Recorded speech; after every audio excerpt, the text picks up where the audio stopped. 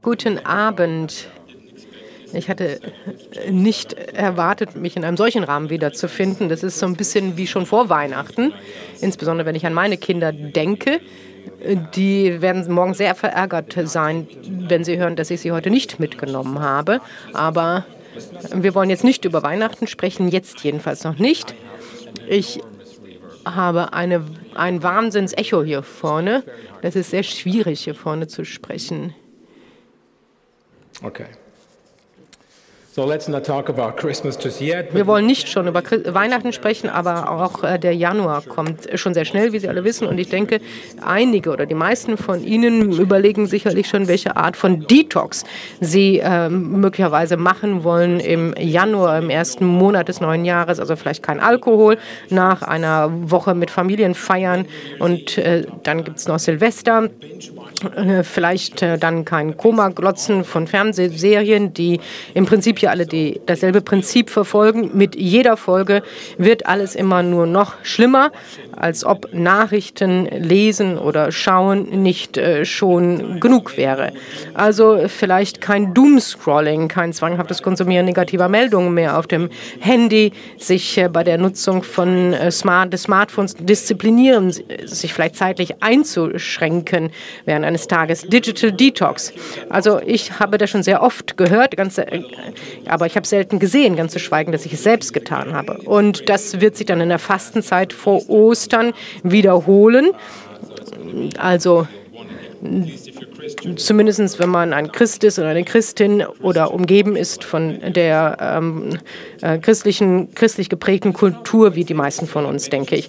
Ich denke, wir können ganz sicher sagen, dass die meisten ein schlechtes Gewissen über ihre ähm, Smartphone-Nutzung haben und ähm, viele überwältigt sind. So ein bisschen wie Touristen, die sich in einer großen Innenstadtbezirk wiederfinden in den 1980, bevor sie alle so hübsch gentrifiziert wurden. Denken Sie nur an New York City oder wie Grandmaster Flash and the Furious Five es in ihrer Mutter aller Hip-Hop-Lieder schon gerappt haben äh, im Jahr 1982. Zu viel, zu viele Leute, zu viel. Ich äh, werde ein bisschen davon wiedergeben. Ich bin kein Rapper, aber nur um Ihnen ein Bild davon zu geben, was äh, Grandmaster Flash and Furious 5 schon gesungen haben. Ich habe eine schlechte Gewohnheit und ich kann sie nicht aufgeben. Meine Gedanken drehen sich darum und ich kann es nicht abschütteln. Ich brauche etwas Zeit, ich brauche Raum, ich brauche Abstand von der menschlichen Rasse. Wenn Sie der Ansicht sind, dass Sie zu viel Smartphone nutzen und wenn Sie denken, dass das Smartphone Sie entfremdet von anderen Menschen, dann sind Sie hier heute Abend richtig. Nicht, weil Sie darin bestärkt werden, in diesem Gefühl. Äh, ich denke, unser Gast wird das Ganze etwas in, in ihre Reue etwas erleichtern. Er wird eine positivere Sicht vortragen zur Digitaltechnik, positiver als das, was wir in dieser Serie hier bisher gewohnt sind. Diese Serie gibt es jetzt seit sechs Jahren. Und wie passend, dass wir uns hier im Naturkundemuseum befinden. Denn hier erfahren wir auch, dass äh, Smartphones Teil des Menschseins sind. Vielleicht könnte ich sagen, vielleicht werden sie sogar Teil der Natur oder unserer zweiten Natur. Das darüber wäre dann noch zu besprechen. Also herzlich willkommen zu dieser dritten und letzten Veranstaltung von Making Sense of the Digital Society in diesem Jahr. Wir haben einige Gäste, die schon seit längerer Zeit kommen. Das ist eine gemeinsame Veranstaltung der Bundeszentrale für politische äh, Bildung und dem Humboldt-Institut für Internet und Gesellschaft. Nach dem Vortrag, der jetzt gleich beginnt, wird es auch noch eine Diskussion hier auf der Bühne geben zwischen mir und dem Gast. Das dauert vielleicht 15 bis 20 Minuten. Es gibt dann zwei Mikrofone hier im Publikum. Ähm, ich denke, ein Mikrofon ist da hinten, das ist also ziemlich weit entfernt. Und äh, dann gibt es auch noch das, Digital äh, das digitale Teilnahmeinstrument, nämlich Slido. Und das können unsere Zuhörer vor Ort zu Hause sehen. Das Ganze wird im Livestream auf der Webseite und auch über Alex TV Berlin gesendet. Also herzlich willkommen auch zu Hause oder wo auch immer Sie sind. Und natürlich möchte ich unseren Gast aus England herzlich begrüßen. Er ist ein Anthropologe am University College in London, wo er das digitale Anthropologie Anthropologieprogramm gegründet hat. Er hat untersucht, wie äh, wie, welche Verhältnisse wir entwickeln zu Dingen, Autos, Bekleidung, allen möglichen Geräten und natürlich auch zu Smartphones. In den letzten 20 Jahren war er Vorreiter bei der Erstellung von digitalen, bei der digitalen Anthropologie. Und als Anthropologie hörte man ähm, den Menschen zu, was sie sagen, überhaupt über die äh, über das, was sie tun, zum Beispiel schlechtes Gewissen haben, wenn sie das Smartphone nutzen. Äh, und er ähm, ähm, und er hört außerdem den, äh, untersuchte außerdem, was die Leute tun. Das ist ein, ein, entscheidender Unterschied. Meistens hört man nur, was Leute ganz in einer kurzen Zeit sagen und dann äh, Fragen beantworten, äh, die wir nicht kennen und die uns auch im Prinzip egal sind. Unser Redner heute Abend, er ist Mitglied der British Academy, ist äh, bekannt äh, für äh, viele Forschungsprojekte in der ganzen Welt darüber, wie Menschen verschiedenen Alters und verschiedener kultureller Hintergründe mit Smartphones interagieren. Darüber wird er Ihnen gleich selbst berichten. Aber ganz kurz möchte ich erwähnen, wie wunderbar zugänglich seine Studien sind. Man kann all die Bände seiner Forschung gratis in einem Open Access Format bekommen. Also wenn Sie das Kleingedruckte lesen, das schrieb er mir in einer E-Mail letzte Woche. Und äh, um dieses Kleingedruckte zu lesen, musste ich meine andere Brille aufsetzen und dann sah ich das und so konnte ich auch seine Bücher herunterladen. Wenn Sie die Zusammenfassung dieser Studien lesen möchten, dann sollten Sie vielleicht mit dem Buch The Global Smartphone anfangen. Ähm, ein Buch ähm, aus dem Jahr 2021 von der UCL Press. Und er hat auch geschrieben über Gesundheitsprobleme, wie zum Beispiel The Comfort of People aus dem Jahr 2017. Das ist die Studie über soziale Beziehungen und die Kommunikation in Hus von Hospizpatienten in Großbritannien. Und ganz frisch aus der Druckerpresse wieder Open Access, also frei verfüglich auf dem Internet, ein Buch mit dem Titel The Good Enough Life.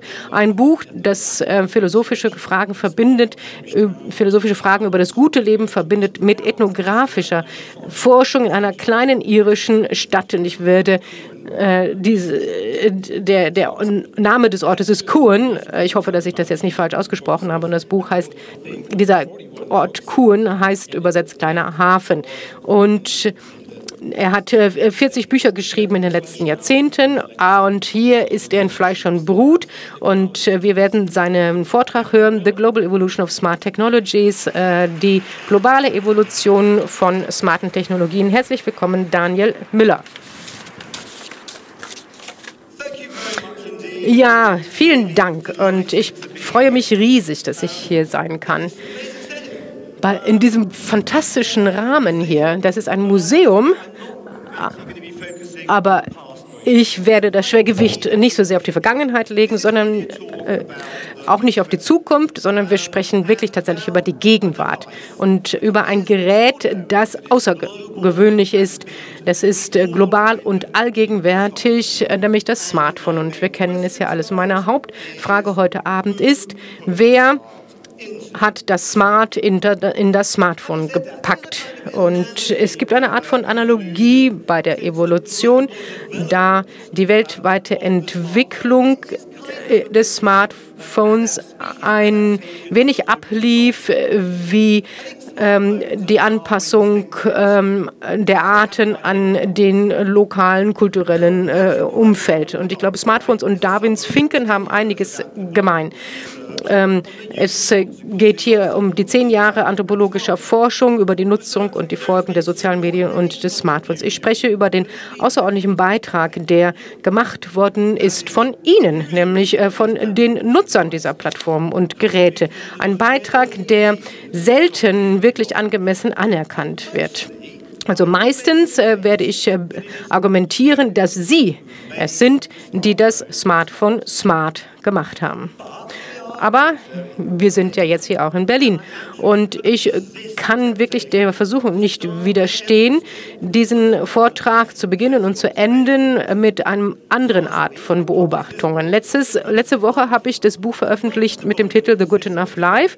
Und einen großen Teil dieses Buches geht es um die Debatte zwischen Anthropologie und der westlichen Philosophie. Vieles dieser westlichen Philosophie kommt aus Deutschland. Und ich möchte behaupten, dass ein Grund, äh, weshalb wir dazu neigen, bewegen und einen eigenen Beitrag zum Smart im Smartphone zu reduzieren und zu negieren, tatsächlich in der modernen Philosophie liegt. Ich kann mir vorstellen, dass es ziemlich ungewöhnlich ist, äh, äh, Überlegungen über, äh, dass es nicht ungewöhnlich ist, Überlegungen zur modernen Philosophie mit Immanuel Kant zu beginnen, äh, obwohl sein bekanntes äh, Werk Kritik der reinen Vernunft ähm, ist ähm, ähm, und ich glaube, es ist auch ziemlich ähm, nicht, es ist auch ziemlich nicht ungewöhnlich zu behaupten, dass Kant äh, bemüht war, die Vorteile der Aufklärungsphilosophie und der beginnenden Wissenschaften nicht umzustoßen ähm, und die Grundfesten der moralischen Prinzipien beizubehalten. Und das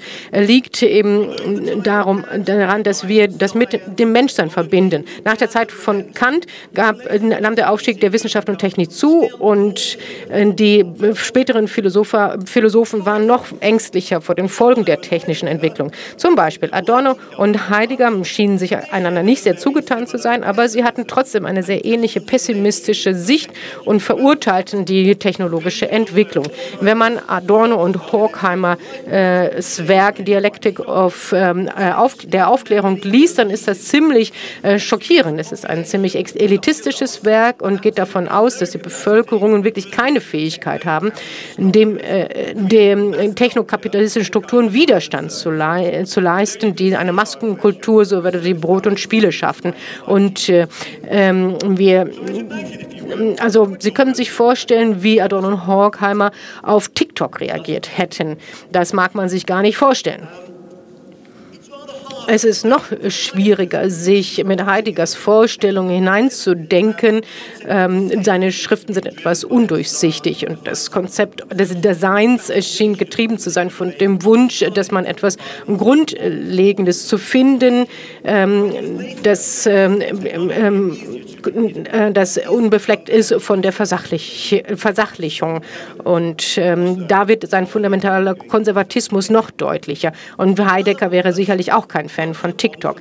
Anders ausgedrückt, ein großer Teil der modernen Philosophie ist konservativ, nostalgisch und oft sehr elitistisch im Ton und ver schaut verächtlich herunter auf unsere Fähigkeiten, fertig zu werden mit Entwicklungen in der Technik und in der Wissenschaft. Das ist in dem Maße wichtig, wie Philosophie wichtig ist, wie sie den Rahmen setzt für was wissenschaftliche Arbeit in den Sozialwissenschaften und in den Wissenschaften und wie sie ganz allgemein gesprochen den vorherrschenden Diskurs bestimmt, der dazu tendiert, davon auszugehen, dass Entwicklung in Medien und Technologie zu einem Niederlang Niedergang der Menschheit führen. Zum Abschluss dieses Vortrags werde ich auf die Philosophie zurückkommen, um gründlicher darüber nachzudenken, was meine Diskussion zum äh, Smartphone dazu aussagt, was wir darunter verstehen, was es heißt, ein Mensch zu sein. Beweise für die Vorstellung, dass Philosophie den vorherrschenden Rahmen des Diskurses bestimmt hat, kommt auch sonst aus einer erstaunlichen Erkenntnis von meinen zehn Jahren Forschung. In den ersten fünf Jahren meiner Forschung äh, hatte ich ein Team von Anthropologen, die die Folgen und die Nutzung der sozialen Medien äh, äh, studierte und es war bekannt unter dem Titel Why We Post. Und im zweiten Fünfjahresprojekt, äh, das hieß ASSA, das war die Anthropologie der Smartphones und des smarten Alterns. In fast jeder Gegend, in der wir gearbeitet haben, haben wir eine außergewöhnliche Diskrepanz gefunden zwischen dem, was die Menschen über Smartphones sagten und dem, was sie mit den Smartphones tatsächlich machten. Wenn man also jemanden über Smartphones äh, fragt, dann ist die äh, Antwort fast unweigerlich negativ. Ja, Sie, man, Sie sagen, dass ähm, Smartphones süchtig machen und dass man auch tatsächlich eine Detox-Zeit, äh, Weihnachten oder sonst wie brauchen, dass wir eine Zeit brauchen, wo wir ohne Smartphones auskommen. Sie sind in der Ansicht, dass Smartphones unsere kognitiven Kapazitäten ändern, dass wir unsere Aufmerksamkeitsspanne reduzieren. Sie reden über Filterblasen, Fake News und andere Arten und Weisen, wie Sie glauben, dass Smartphones unsere politische Debatte gefährden. Es scheint, dass Menschen wie wir unterschiedliche Versionen dieser grundlegenden philosophischen Sorge entwickelt haben, nämlich dass neue Technologien in eine Art von Niedergang der Menschheit münden. Zum Beispiel Menschen wenden sich jetzt äh, den Bildschirm zu und nicht mehr den Menschen, so heißt es. Das wäre ein Beispiel dafür, was man verstehen könnte unter dem Begriff der Versachlichung. Und dennoch ist es so, wenn man sich von dem wegwendet, was Menschen sagen, was sie machen, zu dem, was sie tatsächlich tun, dann findet man tatsächlich mehr oder weniger das gegenteilige Gefühl. Das ist, äh, unsere Studien sind deswegen ungewöhnlich, weil sie sich nicht vorwiegend mit Sprache befassen. Unser Hauptbeweis ist nicht, was Menschen in Interviews sagen oder in Umfragen sagen. Äh, alle Forscher in meinen Teams lebten innerhalb der Gemeinschaften in Unterschieden unterschiedlichen Orten der Welt, jeweils für 16 Monate, wo sie sich konzentrieren konnten auf ihre Beobachtung. Sie sahen, was die Menschen machten. Und wenn wir Interviews durchgeführt haben, dann haben wir nicht nur gefragt über Smartphones im Allgemeinen, sondern wir haben uns jede einzelne App auf den Smartphones angeschaut, um zu erfahren, wie sie genutzt wurden und warum. Statt darüber zu, über Smartphones, über Smartphones zu reden, haben wir am Ende darüber geredet, welche Ereignisse in ihrem Leben waren, oder die Zwecke, für die sie des Smartphones nutzen, zum Beispiel Gesundheit, wie Menschen Symptome oder Nebenwirkungen nachschlagten. Also sobald sowas passiert, dann guckt man ja auf Google nach, wenn man so, sich Sorgen macht oder vielleicht äh, folgt man auf ähm, physiotherapeutischen Übungen auf YouTube und ähm, Wer versucht nicht, seine Fitness äh, durch die 10.000 Schritte zu verbessern? Oder man findet Informationen über Krankenversicherungen, über Arzneirezepte und es gibt äh, viele andere Möglichkeiten, wie man diese Smartphone-Apps nutzen kann. Das heißt, nutz, ähm, das Smartphone ist ganz nützlich im Zusammenhang mit Gesundheit. Oder die Menschen beschreiben, wie sie in den Urlaub fahren und wie das mit, durch die Linse des Smartphones passiert. Zunächst geht man auf TripAdvisor, um ein Hotel auszuwählen, das 100 das 1000 Beurteilungen hat, dann bucht man das Hotel und die Flüge über das Handy. Und dann nutzen Sie Duolingo, wie Sie, um, um die Sprache zu lernen, oder einen QR-Code um, ähm, als Boardingpass für das Flugzeug. Und wenn Sie ankommen, dann suchen Sie Google Maps, um das Museum zu finden. Und wenn Sie dann trotzdem in den Straßen sich verirren, dann nutzen Sie wahrscheinlich Google Translate, äh, um jemanden zu fragen, wo dieses Museum sich befindet. Das passiert mir zum Beispiel sehr oft.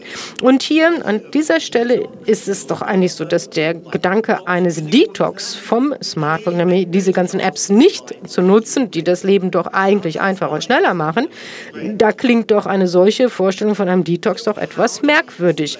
Wie lässt sich erklären, dass dieselben Leute, die so negativ über das Smartphone im Allgemeinen reden, doch so positiv darüber reden, was sie eigentlich mit Smartphones machen, nämlich im Zusammenhang mit Gesundheit, Urlaub und hunderten anderer Dinge. Jetzt kann man vielleicht sehen, warum ich mit der Philosophie angefangen habe.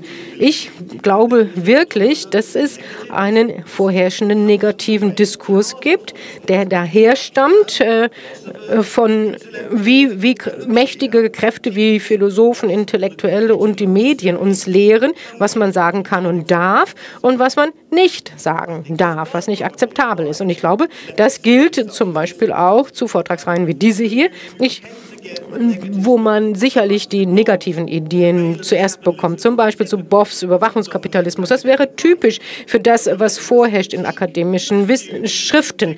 Und äh, na, die, die nach, äh, unnachgiebige Kritik, dass die äh, digitalen Technologien zu einem Niedergang der Menschheit führen. Natürlich ist es wichtig, was Sie sagen, aber Sie, das geht in der Regel immer nur darum, was Druck auf die Menschen ausgeübt. Und wir brauchen ein bisschen ein Gleichgewicht, wenn wir darüber, äh, wenn, wenn wir über die Menschen selbst sprechen. Wir müssen wir das ein bisschen ausbalancieren.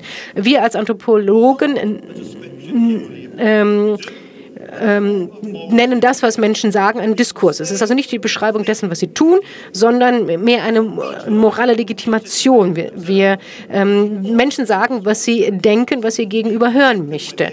Und wir sind dabei und beobachten die Menschen, wenn sie sich mit Gesundheitsfragen und Urlauben befassen. In den letzten zehn Jahren haben wir schon 20 Bände veröffentlicht. Das sehen Sie dort auf dem Bild. Das sind fast 4000 Seiten Beweis. Und wir arbeiten in der ganzen Welt. Diese Projekte schließen Ethnografien aus China, Indien, Afrika, Lateinamerika und Europa ein, sodass wir diese ganzen Kontexte auch vergleichen können. Uns kommt äh, sogar der Begriff Smartphone verdächtig vor. Das Wort liegt doch nahe, dass es zum einen ein Phone, ein Telefon ist und zum anderen, dass es smart ist. Tatsächlich ist es aber so, dass die jungen Leute das äh, Gerät kaum nutzen zum Telefonieren. Und das Akronym SMART steht für Geräte, die in der Lage sind, äh, daraus zu lernen, wie sie genutzt werden. Ja, möglicherweise können Smartphones vorhersagen, was man als nächstes machen möchte, aber eigentlich erweist sich das als ein weniges wichtiges, weniger wichtiges Merkmal, wenn wir uns anschauen, was wir sonst mit dem Smartphone so machen. 2021 ähm, haben wir das Buch veröffentlicht, das heißt The Global Smartphone. Man kann es auch gratis herunterladen in verschiedenen Sprachen. Das Buch denkt radikal das neu, was ein Smartphone ist. Wir nennen es das Transportal Home, das transportale Heim. Das heißt, das bedeutet, dass das Smartphone zunächst mal und vor allem ein Ort ist, in dem wir jetzt leben. Ja, es ist ein bisschen anders als ein Haus aus Stein ähm, und äh, Zement, aber ansonsten gibt es Analogien. Natürlich ist es oft die beste Adresse, unter der Menschen uns kontaktieren können. Wir sind äh, meistens dort zu Hause in unserem transportalen Heim. Es ist dort, wo wir unsere Forschung machen, wo wir arbeiten, wo wir äh, Filme gucken, wo wir Unterhaltung ähm, suchen, wie Fußballspiele. Das ist da, wo wir uns organisieren mit Hil Kalendern und anderem. Ist der Ort, wo wir einkaufen, wo wir Bankgeschäfte durchführen, ohne das äh, Haus zu verlassen. Es ist ein Transport portales Heim, denn es ist so einfach, es äh, als Portal zu, zum transportalen Heim einer anderen Person zu nutzen und Zeit gemeinsam äh, im Gespräch zu verbringen oder Aktivitäten gemeinsam zu unternehmen, ohne dass man den Bus nehmen muss oder dorthin fahren muss. Das ist also eine von vielen Entdeckungen, ähm, von denen wir glauben, dass sie unser Verständnis davon ändern sollen, was dieses Ding überhaupt ist. Ich, wir sind der Ansicht, dass das Smartphone unsere Beziehung zu der Welt um uns herum ändert durch eine Eigenschaft, die wir ständigen Opportunismus nennen, also ständige Gelegenheitsbietung. Das stammt daher, äh, dass dieses Gerät immer mit uns dabei ist. Also diese Kamera zum Beispiel ist etwas, was wir bei jeder Gelegenheit nutzen können. Zum Beispiel, wenn unser Baby das erste Mal lächelt oder wenn wir eine Werbung für ein Konzert weiterreichen, ein Konzert, das wir vielleicht ansehen möchten oder anhören möchten oder wenn wir etwas Merkwürdiges sehen, was wir vielleicht auf Instagram stellen möchten. Gleichzeitig bietet es auch ständig Gelegenheiten, die wir mit anderen, ähm, die wir ähm, und wir können diese Bilder dazu mit anderen teilen, mit jedem, von dem wir der Ansicht sind, dass sie vielleicht das erste Lächeln unseres Babys sehen möchten oder vielleicht diese Werbung für dieses Konzert. Ein weiteres Beispiel wäre ähm, der Begriff jenseits von Anthropomorphismus.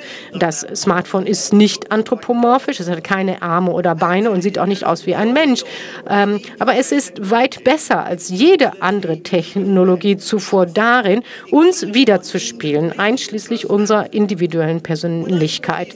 Wenn ich mir das Smartphone von jemandem ansehe, dann könnte ich von dem minimalistischen Ansatz, äh, wie er es verwendet, ähm, daraus schließen, zum Beispiel so wenig ähm, Apps wie möglich, dass das ein Ausdruck äh, herkömmlicher Maskulinität, Männlichkeit ist oder wie äh, es gibt auch das äh, Smartphone gibt auch Ausschluss darüber, wie jemand ein Selbstbild von sich entwirft als ein beflissener professionalistische professionelle Person, indem sie alle Möglichkeiten wie Kalender, Notes und Websites nutzt. In diesem Fall war es Ausdruck einer Person, die den Eindruck hatte, dass an ihrem Arbeitsplatz nicht erkannt wurde, wie professionell sie tatsächlich war. So hat sie dieses Bild von sich in ihrem äh, Phone selbst geschaffen. Ähm, auch, das muss nicht individuell sein. Äh, Smartphones spiegeln auch die Beziehung älterer Paare wieder, bei denen es egal ist, wer die Banking-App hat, weil jeder das äh, Handy von jemandem anders, von dem anderen Partner nutzt. Oder man sieht auch, dass, das, dass der Enkel das ähm, ähm, Handy ausleiht für Spiele. Wie passierte das alles? Mein Sohn ist ein Software-Ingenieur und ich möchte jetzt nicht schlecht reden über dieses Handwerk, das diese Technologie erzeugt hat. Wir haben uns wirklich absolute magische Momente gegeben. Sie erinnern sich vielleicht an die erste, das erste Mal, dass sie ein iPhone in der Hand hatten oder das erste Mal, dass sie ChatGPT äh, genutzt haben. Das war fantastisch. Und wir haben gerätselt, wie das wohl passieren konnte. Aber das wirkliche Geschenk äh, meines, äh, von den ähm, Software-Ingenieuren wie mein Sohn war die, eine bestimmte Bescheidenheit. Sie haben etwas gebaut, was völlig neu ist in der Art und Weise, wie es geändert und angeeignet werden kann durch den Nutzer selbst, statt dass es den Nutzer ähm, kontrolliert als Technik. Ich möchte jetzt hier nicht die problematischen Folgen von Smartphones und seiner Fähigkeiten negieren ähm, und seiner Fähigkeit zum Überwachungskapitalismus. Das möchte ich alles nicht verleugnen. Aber ich möchte doch behaupten, dass äh, im Gegensatz zu, äh, zu Boff, dass die Art und Weise, wie der äh, Verbraucher die Technik manipuliert, äh, folgenreicher ist als äh, wie die, die Art und Weise, wie der Hersteller den Verbraucher damit manipuliert. Und das ist eigentlich die Essenz unserer 4000 Seiten. Und hier ist der Punkt, wo Sie jetzt reinkommen. Ich, äh, ähm, ich äh, weiß, jeder, der ein ähm, am Tag, wo das Smartphone ankommt, sind Leute beschäftigt, sie löschen Apps ähm, und äh, ähm, wer Samsung Galaxy äh, wer nutzt dann Bixby? Wir tun neue Apps hinzu, wir setzen die, ähm, verändern die Einstellungen und wir bauen Inhalte auf. Und so ähm, spiegelt dann das Smartphone die Einzelpersonen und die Beziehungen wieder. Unser globales komparatives Projekt äh, zeigt dann, wie das alles kulturell kulturelle Werte widerspiegelt. Ein Telefon in Türkei zeigt, wie die kurdische Gesellschaft um Clans oder Verwandtschaft herum organisiert ist. Und ein Smartphone in South Südindien ähm, spiegelt wieder, wie Männer versuchen, die Sexualität der Frauen zu kontrollieren. Und ähm, ein Beispiel sind zwei Bücher meiner Kollegin Chiang Juan Wang. Das erste Buch heißt Soziale Medien und industrielles China. Ähm, Qin Yuan lebt ähm, während während ihrer Forschung in einer Faktorie, in einer, in einer Fabrik. Und das, diese Fabrik spiegelte 250 Millionen Menschen wieder, die aus ländlichen Gebieten in China in das ähm, Fabriksystem migrierten. Ihr Buch zeigte, wie die gleichzeitige Migration äh, von der Offline-Welt in die Online-Welt äh, mehr dazu beitrug, diese Menschen äh, dahin zu bringen, ähm, in die chinesische Modernität zu bringen, als tatsächlich der physische äh, Wegbewegung vom Dorf in die Fabrik. Und im zweiten Buch, nämlich Smartphones und äh, Alterwerden im urbanen China, da hat sie sich mit der Mittelkla mit Mittelklasse in Shanghai und auseinandergesetzt. Das Buch zeigte, wie man das, die Smartphone-Revolution nicht verstehen kann, wie sich das für ältere Leute ausübt. Ähm, ähm, denn die kulturelle äh, Revolution hat Haltungen entwickelt, die auch sich im Smartphone widerspiegeln. Unser zweites Projekt hieß Anthropologie des Smartphones und des intelligenten Alterns. Damit wollten wir den Umstand entgegenwirken, dass wir in der Vergangenheit diese neuen Technologien mit jungen Menschen in Verbindung gebracht haben. Wir gehen davon aus, dass sie diejenigen sind, die, sich furcht, die sie sich furchtlos aneignen und für sich nutzen, während die älteren Menschen als relativ passiv und eingeschüchtert von neuen Technologien wie dem Smartphone angesehen werden. Nun, in China trifft das weniger zu, da sich die Älteren mit dem Ideal der Regierung identifizieren, die neuen Technologien die neuen digitalen Technologien zu nutzen, um China wieder an die Spitze der Nation zu bringen. So könnte man, also so, so gegen Xinjiang in ein Restaurant und äh, traf auf junge Leute, die sich bei ihren Großeltern beschwerten. Oma, wir haben dich hier zum Familienessen eingeladen, aber du verbringst die ganze Zeit mit deinem Telefon, anstatt mit uns zu sprechen. Um noch ein vergleichendes Beispiel zu liefern. Was posten die Leute eigentlich, wenn sie Mutter werden?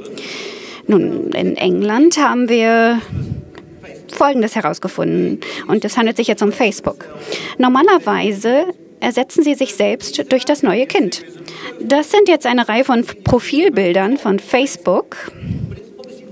Und offensichtlich gehört hier Facebook nicht dem Baby, sondern das ist das Profil der Mutter. Und die Mutter ist aus dem eigenen Profil verschwunden. Sie hat sich selbst äh, durch das Baby ersetzt. Und das ist in England sehr üblich. Nun, was posten eigentlich Mütter aus Trinidad, wenn sie Mutter werden? Sie posten Bilder, auf denen zu lesen ist, ja, ich bin Mutter geworden, aber glaub bloß nicht, dass ich weniger glamourös bin, als ich es vor der Mutterschaft war. Also kompletter Unterschied. Und vielleicht äh, wird Ihnen jetzt klar, warum unser zusammenfassender Band nicht wie soziale Medien die Welt veränderten hieß, sondern wie die Welt die sozialen Medien veränderte. Übrigens können alle unsere Bücher kostenlos bei UCL Press heruntergeladen werden, wo sie bereits mehr als eine Million Mal heruntergeladen worden sind. Für ältere Menschen gibt es vor allem einen Bereich, der im Vergleich zu jüngeren Menschen wirklich wichtig ist, und das ist die Gesundheit. Ja, nicht aus freien Stücken, sondern weil wir mit zunehmendem Alter einfach mit verschiedenen Dingen zurechtkommen müssen und uns damit auseinandersetzen müssen. Die Unternehmen wissen, oder stehen ständig im Wettbewerb miteinander, um neue Apps zu entwickeln. Und sie wissen also, dass sie in diesem Bereich sehr viel Geld verdienen, las sich verdienen können. Und das in allen Ländern. Also meistens ist es so, dass wir als Anthropologen nie ganz verallgemeinern. Aber was uns auffiel, war die Art und Weise, wie ältere Menschen die Apps, die von diesen Unternehmen zu ihrem Nutzen produziert werden, ablehnten und sich ihnen widersetzten. Denn im Allgemeinen wollen sie nicht, dass es zu einer Verbreitung dieser Apps kommt. Nun könnte man meinen, dass sie, dies bedeutet, dass sie die Telefone weniger für die Gesundheit nutzen würden, als wir erwartet hätten. Aber tatsächlich nutzten sie sie mehr für ihre Gesundheit, als wir erwartet hätten. Und das können wir durch eine andere Beobachtung erklären. Die meisten älteren Menschen wollten bei den Apps bleiben, mit denen sie vertraut waren und mit denen sie sich wohlfühlten. Apps wie zum Beispiel Line in Japan, WeChat in China oder WhatsApp in den anderen Ländern der Welt. Bei näherer Betrachtung fiel uns auf, dass ältere Menschen tatsächlich sehr kreativ und erfinderisch geworden sind, wenn es darum geht, Apps, die ursprünglich nicht für Gesundheitszwecke konzipiert worden waren, in Gesundheits-Apps zu verwandeln. Eine der wichtigsten Gesundheits-Apps heutzutage ist WhatsApp. Auf unserer Website haben wir ein 140-seitiges Handbuch darüber veröffentlicht, wie die Menschen in Brasilien WhatsApp für die Gesundheit einsetzen. Aber nichts davon spiegelte unsere Ideen wider. Es basiert auf dem, was die Ethnografin Marilia Duque beobachtet hat, wie Menschen WhatsApp nutzen, um Gesundheitsinformationen abzurufen oder weiterzugeben, Ernährung zu visualisieren, sich mit den Gesundheitsbehörden und Versicherungen auszutauschen. Und das gilt für Mediziner und Patienten gleichermaßen. In einer ähnlichen Studie arbeitete Alfonso Ortigui in einer Klinik für Chemotherapie in Santiago de Chile an demselben Thema. Während sich die meisten Menschen auf Ärzte und Patienten normalerweise konzentrieren, konnte er erkennen, dass der Schlüssel zur Klinik die oft übersehene Gruppe von Krankenpflegern war, die er als Navigatoren bezeichnete. Sie waren es, die ganz schnell das Potenzial von WhatsApp erkannten, um ihre Arbeit einfacher und effizienter zu gestalten. Auch hier neigen wir dazu, ältere Menschen als passive Empfänger neuer digitaler Technologien zu betrachten. Aber wenn es darum geht, dass es ihnen etwas wirklich wichtig ist, wie zum Beispiel die Gesundheit, sind sie oft diejenigen, die das Smartphone in Gesundheitstelefone verwandeln. In Irland zum Beispiel wird das Smartphone verwendet, um Rechnungen zu fotografieren und diese zu nutzen.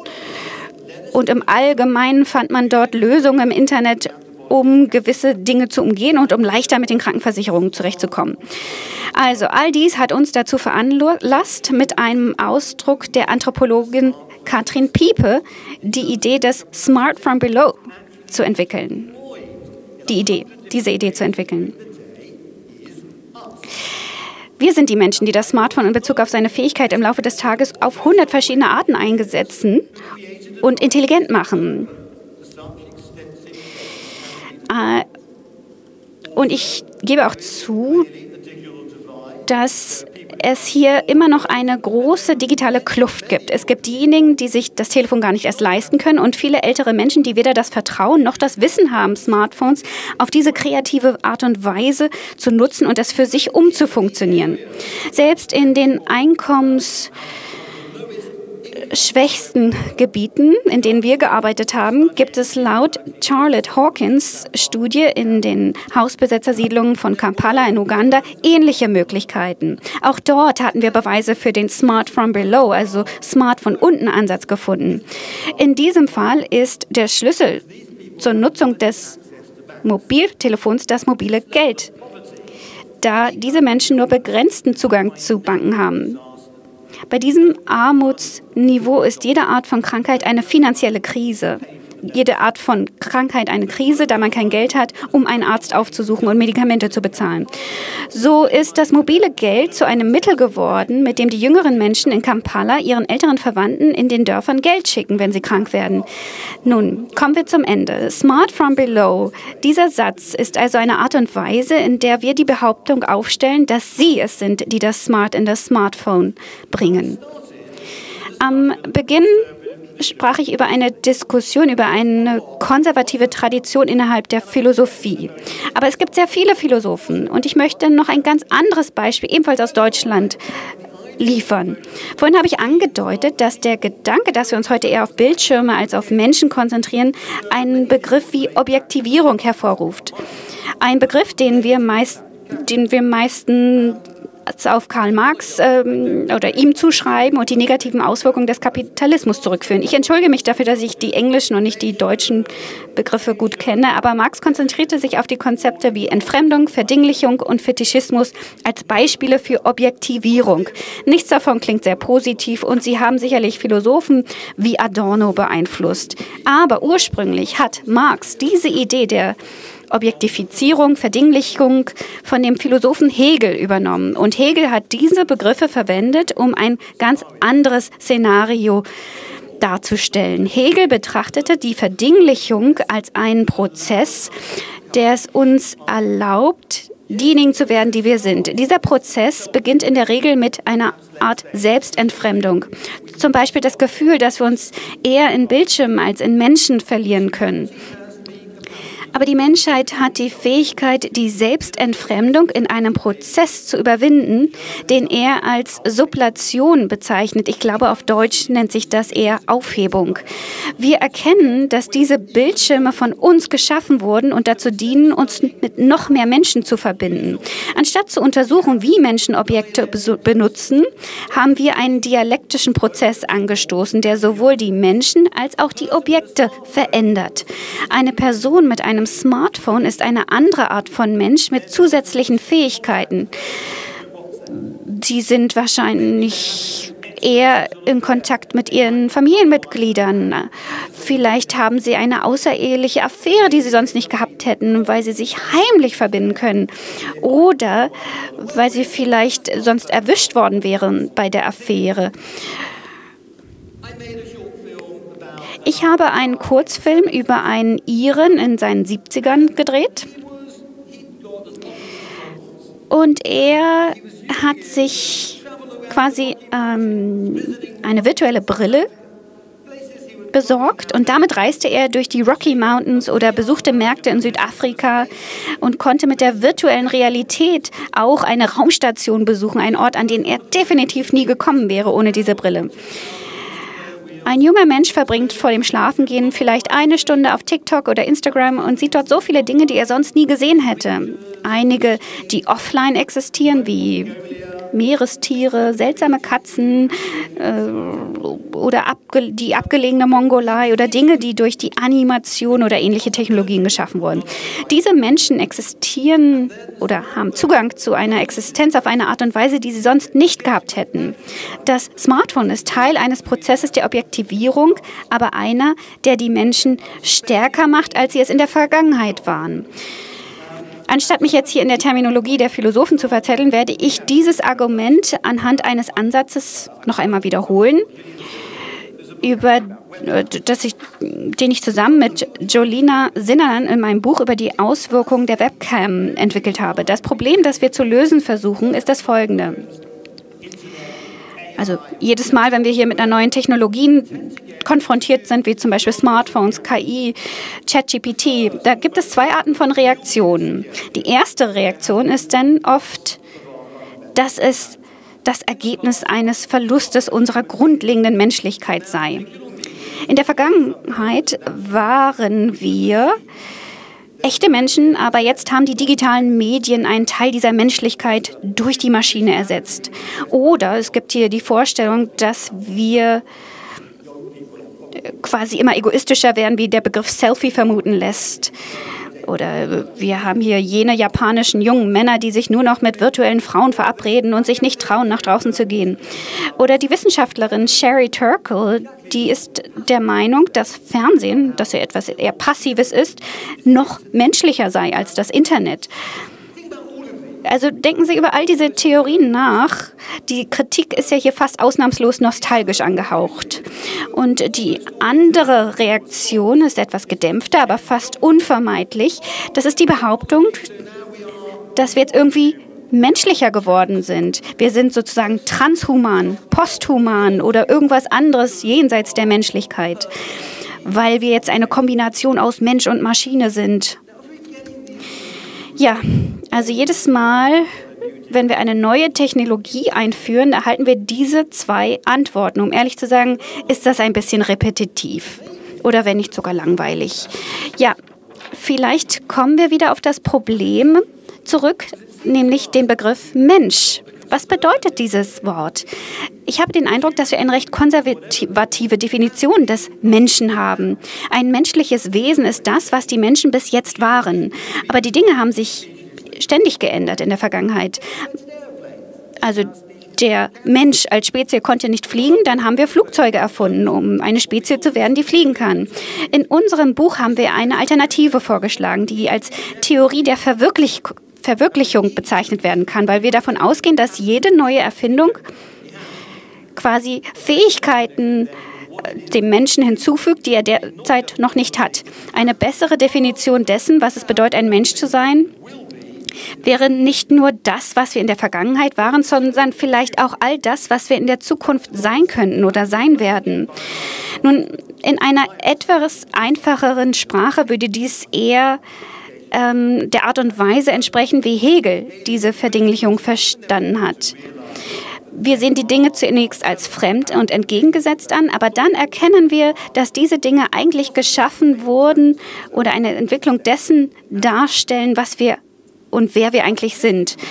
Und wir wurden immer durch die Entwicklung des Rechts, der Religion und der Kunst und der Philosophie verändert. Hegel sah sich selbst sicherlich als Veränderung der Menschheit. Sie können jetzt annehmen, dass ich eine sehr positive Einstellung zur neuen Technologie habe. Und ja, das stimmt. Und sicherlich versuche ich hier ein Gleichgewicht zu schaffen mit der schonungslosen Kritik, die es gibt. Aber das ist wirklich nicht der Hauptpunkt, den ich hier in Betrachtung des Menschseins zu erreichen hoffe. Mir geht es in erster Linie darum, ein Urteil zu fällen, ob Smartphones oder mir geht es nicht darum, ob die Smartphones gut oder schlecht sind, sondern vielmehr darum, anhand von Beweisen zu zeigen, was sie tatsächlich sind und was sie tun. Ich möchte mich darauf konzentrieren, wie die Menschen das Smart in das Smartphone gebracht haben. Nun, meine Argumente, die ich hier jetzt geliefert habe, ist, dass das Smartphone letztendlich alles Negative, das ein Mensch ausmacht oder oder sein kann, noch verstärken kann. Zum Beispiel, wenn jemand äh, Spielsucht hat, dann wird das nochmal verstärkt durch das Smartphone. Wenn Menschen in Kriege verwickelt sind, wie wir zum Beispiel in der Ukraine, Russland sehen, dann kann sich dieser Krieg schnell in ein drohengestütztes Schlachtfeld entwickeln, das oft über Smartphones gesteuert wird. Der chinesische Staat war schon immer beeindruckend autoritär. Denken Sie nur an die Feudalzeit, an die Kulturrevolution. Heute ist China ein Überwachungsstaat wie kaum ein anderer. Und oft setzt er diese Technologien an. Und denken Sie nur zurück an die Vergangenheit, noch vor dem Smartphone. Also, was ich eigentlich sagen möchte, ja, es gibt hier sehr viel Positives. Und wir neigen dazu, einen eher nostalgischen und übermäßig positive Idealisierung einer eher erfundenen Vergangenheit zu entwickeln und die wir heute dank der neuen Technologie oft als verloren betrachten. Ich bin Anthropologe und was ich heute Abend getan habe, ist charakteristisch für die Anthropologie als Disziplin. Im Gegensatz zu anderen Disziplinen sind wir weniger an Aktivitäten wie dem Testen von Hypothesen interessiert. Wir sind eher akademische Extremisten. Ein Extrem sehen wir in einem kleinen Detail unseres alltäglichen Lebens. Monat für Monat haben wir dann in einer bestimmten Gemeinschaft verbracht und mein neues Buch, The Good Enough Life, befasst sich damit, wie Menschen ihre Hunde halten, wie sie ihren Urlaub verbringen, wie sie Bridge spielen, Sport treiben, wie es ist, ein Groß oder ein äh, wie es ist, Großeltern zu sein. Das ist alles sehr provinziell. In meinem Fall geht es um eine kleine Stadt in Irland, ganz anders als bei den großen Studien in Kampala oder in Milan, Italien. Dennoch nutzen wir diese kleinen Details und unsere daraus folgenden Vergleiche, um zu versuchen, die anderen Extreme zu diskutieren oder das andere Extrem zu diskutieren. Die allgemeine Idee darüber, was es eigentlich bedeutet, ein Mensch zu sein, in diesem Fall durch die Eröffnung einer Diskussion mit der westlichen Philosophie.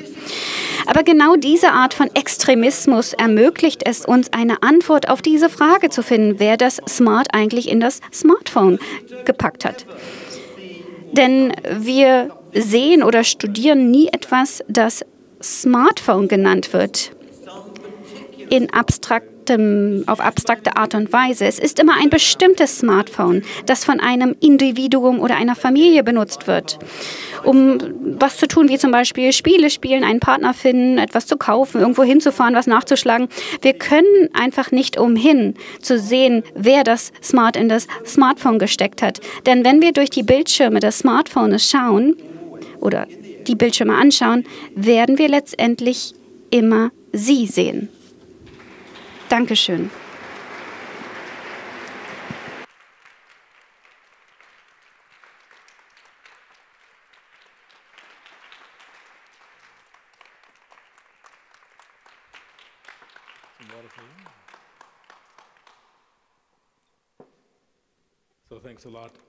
Ja, vielen Dank, Daniel, für diesen wirklich ähm, engagierten äh, Vortrag und diese äh, schnellen Vortrag. Aber es hat natürlich auch mit äh, der Akustik hier zu tun. Es ist wie in der Kirche hier. Das fühlt sich an wie in einer Kathedrale, vor allem wenn man hinter den Lautsprechern steht, dann hört man noch mehr davon. Dann ist der Ton noch, in, noch großartiger, als man es vorher schon hörte. Also da wir ja jetzt in einer Art Kirche sind, müssen wir jetzt über Schuld sprechen und äh, ähm, Schuldzuweisung und äh, sich schuldig fühlen. Ich glaube, so ein bisschen haben Sie ja so angefangen, als Sie mit den Deutschen, als Sie über die deutschen äh, Philosophen gesprochen haben. Es ist so ein bisschen wie ähm, eine Draufsicht. Wäre es fair, den, den Anfang Ihres Vortrags zusammenzufassen, indem man sagt, dass man, dass Sie zumindest Kant und Adorno zu den Luditen, mit den Luditen verglichen haben, den Maschinenstürmern, die nämlich sagten, verbrennt die Webmaschine, verbrennt das Smartphone. Ich glaube nicht, dass ich da wirklich äh, intensiv äh, mich mit der, äh, mit der Philosophie dieser Philosophen befassen muss. Wenn man die Essays von Ad, äh, Heidegger liest, wenn man Adorno über die neuen Massenmedien liest und so weiter, da, ich glaube, man kann sich nicht vorstellen, dass man negativere Sicht haben kann. Sie haben das verflucht. Und sie sehen das unter moralischen Gesichtspunkten. Sehr sogar. Ich denke, es ist einfach nur zu klar in vielen Philosophien und äh, es, dass es dort sehr konservativ zugeht und insbesondere konservativ über die neuen Technologien. Das war dieser Witz über TikTok. Also ich glaube, TikTok es gibt es ja, es ist offensichtlich, dass es das gibt, aber was ich in dem Vortrag gesagt habe, und das war vielleicht ein bisschen anders, ähm, äh, was ich auch gesagt habe, ist, dass es natürlich Folgen hat, Konsequenzen.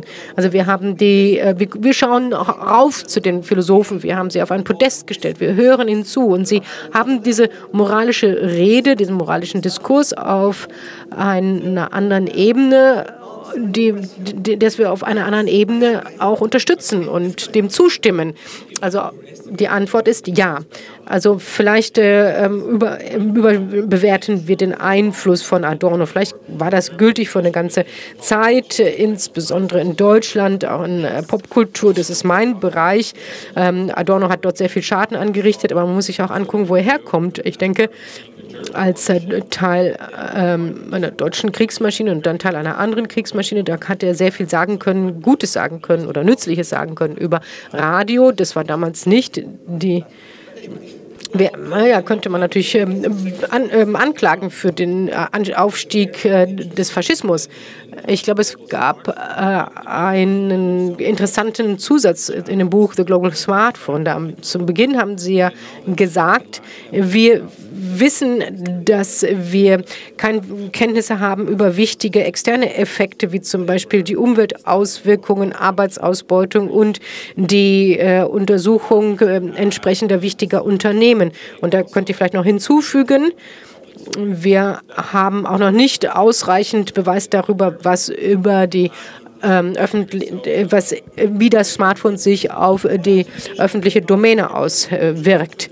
Also Technologien können schädlich sein, sie können all das Böse tun, das kann man nicht ausschließen. Und natürlich können Technologien auch sehr nützlich sein. Also wenn wir über externe Effekte sprechen, warum nutze ich diesen Begriff in meinem Buch? Ich nutze diesen Begriff in meinem Buch, denn das, was das man kann sehr viel damit machen, aber nicht alles mit dem Smartphone. Und es gibt natürlich sehr viel Literatur und auch gute Literatur von Anthropologen zum Thema digitale Arbeit, die wir nicht sehen, nämlich zum Beispiel Callcenter in Indien, Ausbeutung in Afrika und so weiter. Da gibt es Literatur auch über die Umweltauswirkungen, Literatur über die Überwachung. Diese Literatur gibt es. Also man muss seine eigene Arbeit in diesen Kontext stellen. Und was ich hier sagen möchte, ist, ich äh, verleugne das nicht. Ich möchte auch diese Literatur, diese Forschung nicht abwerten. Aber ich möchte sagen, muss man nicht auch die Auswirkungen auf normale Menschen untersuchen, wie man das im täglichen Leben sieht? Und das äh, findet sich in dieser Literatur nicht wieder ich äh, nutze das Wort äh, Balance. Man muss einen Ausgleich haben, finden. Und wir haben dieses Gesamtbild angeschaut und wir haben danach geguckt, was fehlt, was da nicht vorhanden ist in dieser Diskussion oder in dieser Debatte. Und äh, wir können das machen, denn niemand anders kann das. Und unsere Arbeit besteht darin, eben diese Wissenschaft und diese Beweise zu liefern. Wir verstehen die tägliche Nutzung. Also um die tägliche Nutzung der äh, Smartphones zu verstehen, muss man bei den Leuten sein. Man muss sie beobachten. Das heißt, wir haben nicht alles studiert im Zusammenhang mit digitaler Technologie. Wir ergänzen vielmehr das, was andere schon erforscht haben. Erforscht haben. Und diese Studien, diese anderen Studien haben aus verschiedenen Gründen negativere Ansichten.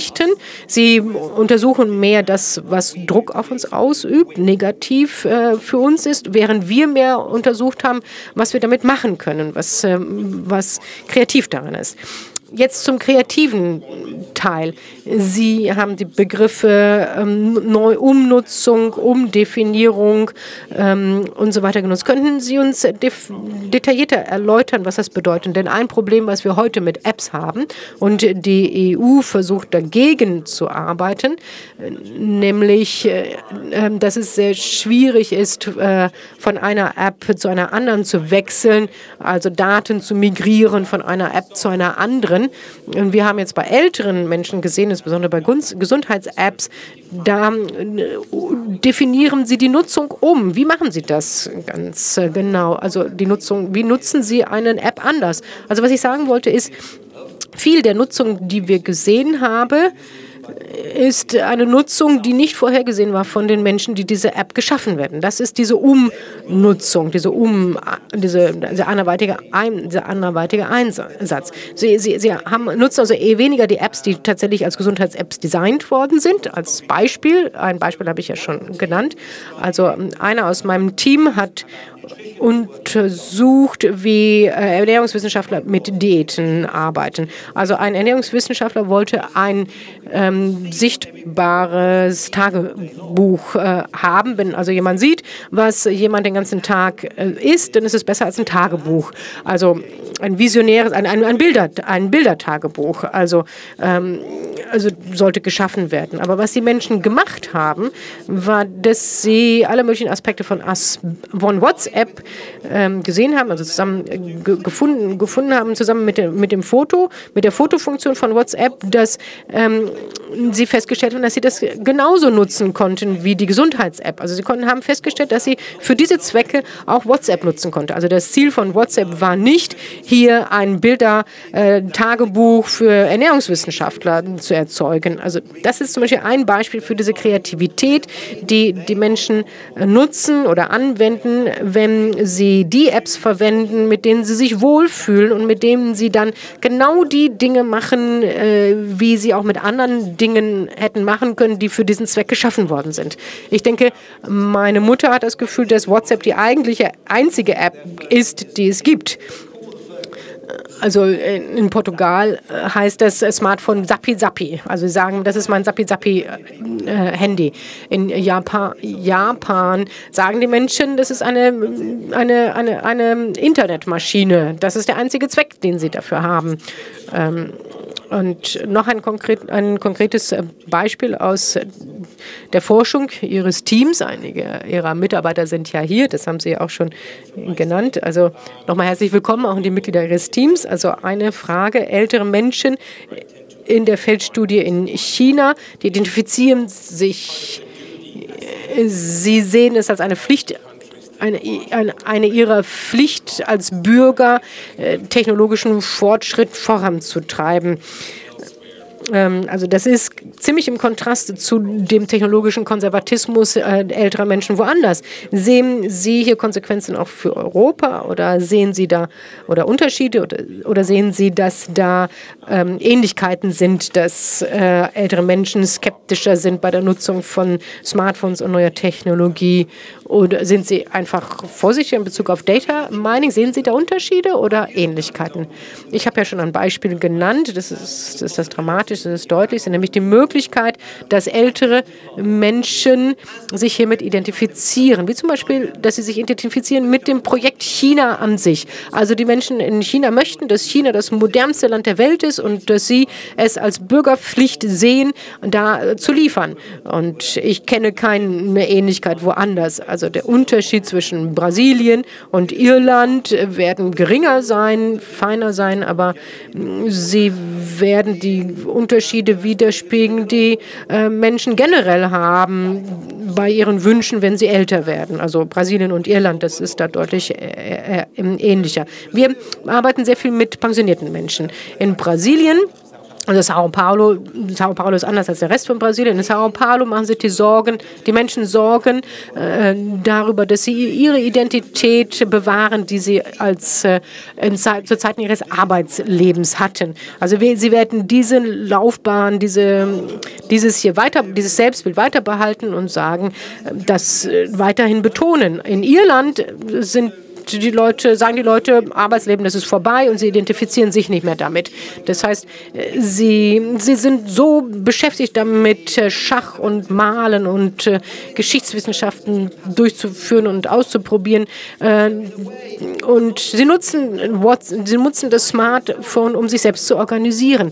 Also das Leben selbst ist sozusagen das, ähm, die Kunst, das Kunsthandwerk geworden. Und sie sagen, ich möchte all diese tausend Dinge machen und es wäre schon sehr schwierig, schwierig, all das zu organisieren ohne ein Smartphone. Also sehr unterschiedliche Nutzungen eines Smartphones, nämlich weil sie unterschiedliche Wünsche und Ziele für ihren dritten Lebensschnapsnit haben. Und das hängt wirklich davon ab, wo man ist. Sao Paulo ist sehr anders. Es ist ein Ort, der sich über Arbeit identifiziert. Das wäre etwas anders als in Rio zum Beispiel. Es hängt sehr davon ab, wo man ist. Gibt es Unterschiede zwischen Irland und England? Ja, gigantisch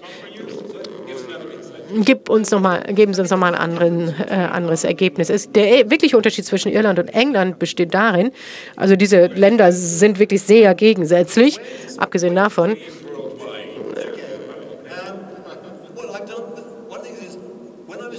als ich dieses, Sozial dieses ähm, Projekt über Social Media gemacht habe. Da habe ich 16 Monate in England verbracht, in einem Dorf, der genau, das genauso groß war wie dieser Ort in Irland. Also von daher könnte, kann ich das ja vergleichen. Das Problem in England ist, dass man dort wirklich einen großen Anstieg bei Isolierung und Einsamkeit hat. Englische Menschen insbesondere aus der Arbeiterklasse, haben eine starke Vorstellung davon, wo man sich gesellig aufhält. Also das eigene Heim ist, das, ist sozusagen das Schloss, my home is my castle. Das heißt, man geht nicht in die Öffentlichkeit. Und wenn man älter wird, dann wird das schwieriger. Und dann werden die Menschen oft sehr isoliert. Und ein großer Teil meiner Arbeit äh, in äh, England befasste sich damit. Das habe ich in Irland überhaupt nicht gefunden. Da gibt es diese kulturelle Vorstellung davon nicht, wo man sich mit einer anderen Person aufhalten kann oder auch nicht.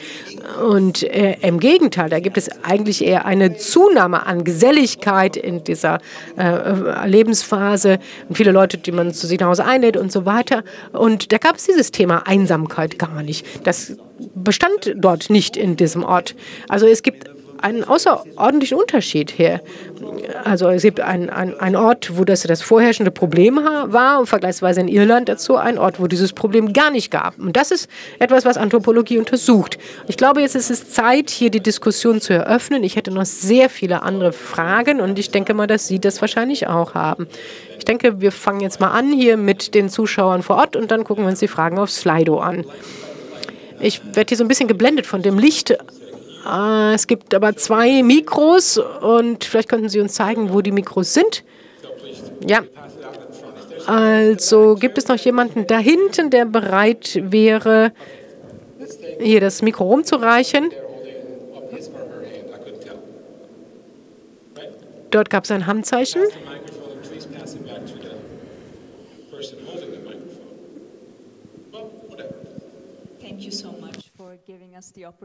Herzlichen Dank.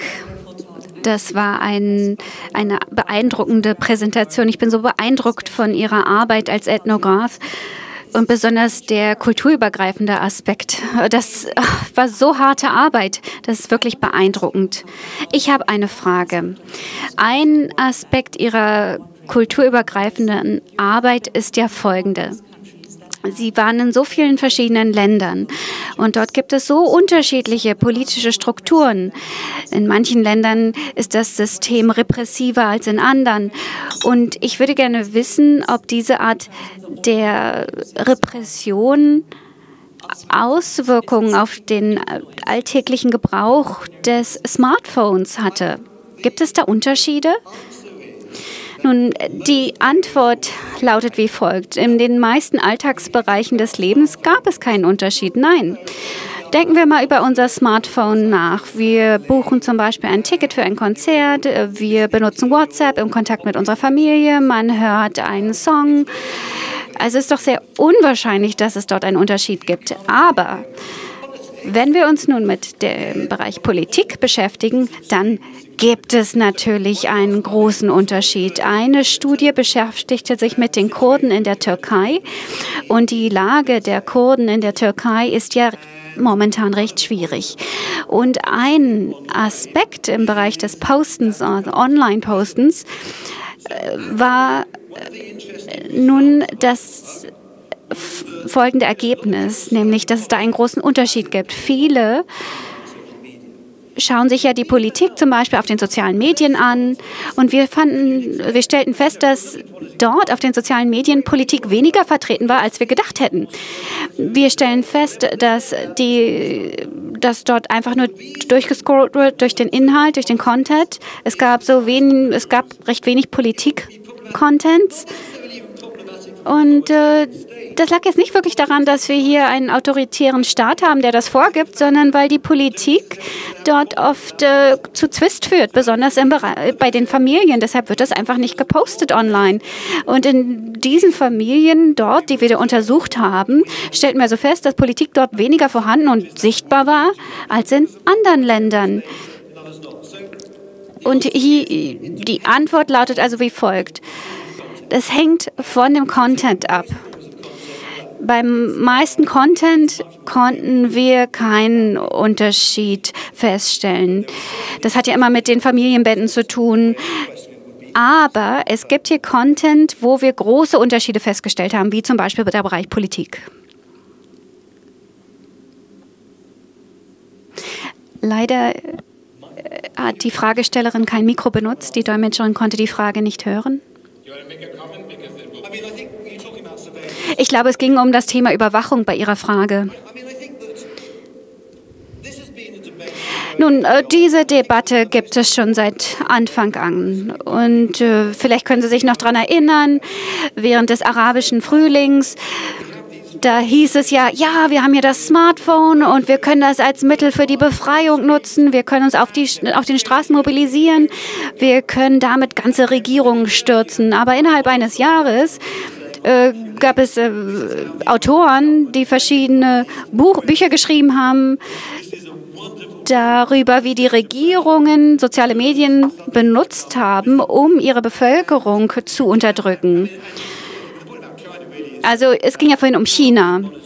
Und da bei China, da werden sie ja ständig überwacht.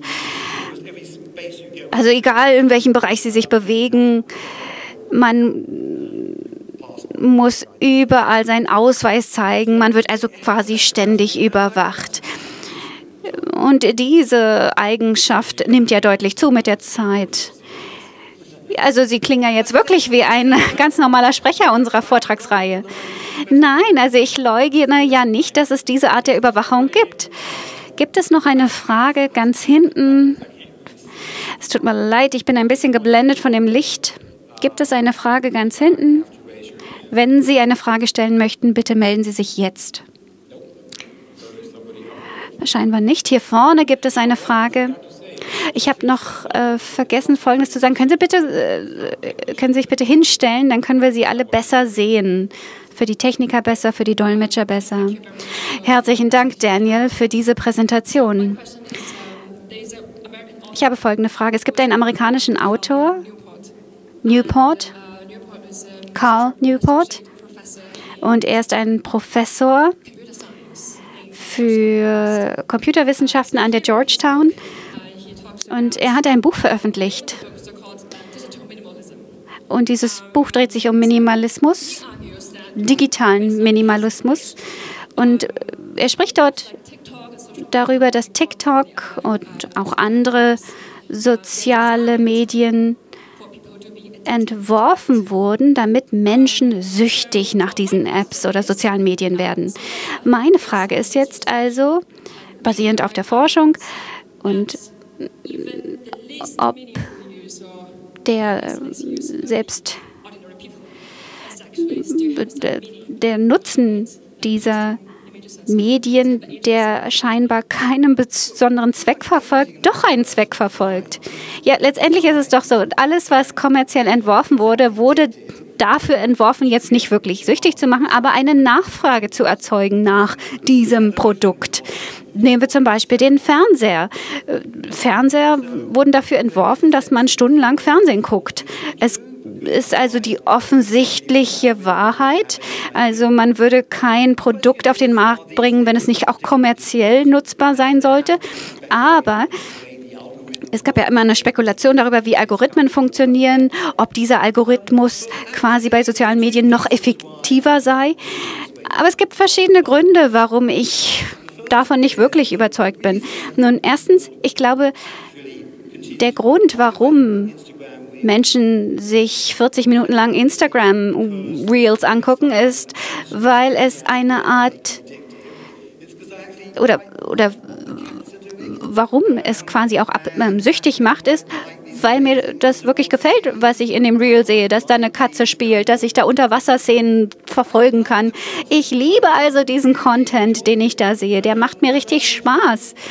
Ich glaube, dass das der Grund ist. Es ist doch toll, dass ich 40 Minuten damit verbringen kann, tolle Sachen anzuschauen, die ich normalerweise sonst nicht sehen würde. Und wenn das jetzt Sucht heißt, na dann her damit. Ich glaube, mein Leben wird verbessert durch den Content, den ich mir da anschaue. Und die meisten, die ich kenne, die sich das anschauen, die schauen sich das wegen des Contents an. Wenn Sie diesen Content nicht toll finden würden, würden Sie sich das auch nicht anschauen. Man muss aber natürlich diese Sicht ähm, in eine Art Gleichgewicht bringen. Nun, es scheint, also diese Annahme, dass es da dieses, diese unfassbar tolle Firma gibt, die das alles manipuliert. Nun, ich muss Folgendes dazu sagen. Oft wird ja Mark Zuckerberg hier ähm, genannt, dass er dafür sorgt, dass wir so süchtig werden. Aber ich schaue mir mal die Geschichte hinter diesem Unternehmen an. Mark Zuckerberg hat damals, als er noch an der Uni war, ähm, etwas entworfen, um Fashion Mädels zu bewerten. Und er wollte, dass das nur in den Türen der Uni benutzt werden sollte. Aber dann äh, wurde das immer populärer und das wurde auch noch in anderen Unis verwendet. Also es ist nicht so, dass Mark Zuckerberg hier einen Fehler gemacht hat oder irgendwie einen Fehler bei seiner Entwicklung des Produkts, sondern es geht ja auch um die Nutzung dieses Produkts. Zum Beispiel die Menschen, die die Algorithmen entwickeln. Also wenn Sie schon mal selber in einem Unternehmen gearbeitet haben, dann wissen Sie, dass da oft ganz schön viel Chaos herrscht. Ja, manchmal machen die alles richtig und man erlebt eine Art Verbindung. Und wenn wir zum Beispiel einen Algorithmus Algorithmus haben, der gut funktioniert, dann führt er ja dazu, dass er uns Zugang zu Content liefert, an dem wir auch interessiert sind. Denn wenn wir nicht interessiert wären, würden wir das Smartphone ja ausmachen. Also diese Idee, die da draußen rumherrscht, dass da irgendein großer äh, Puppenspieler quasi uns süchtig macht und wir nur passiv sind hm, und dass wir quasi in diese Sucht gezwungen werden, ja, das halte ich nicht für richtig.